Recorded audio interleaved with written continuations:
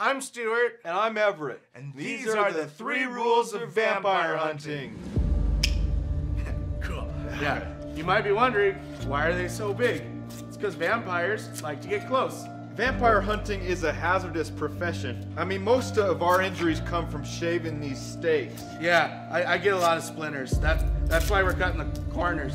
Rule number, number one, always use the buddy system when hunting vampires. Where do I do that? No, that's, that's a little better. I got some wood in my mouth. Rule number two, never be alone with a vampire. Hunting vampires without actually be vampires, it's more just walking around with wood in our hands. Rule number three.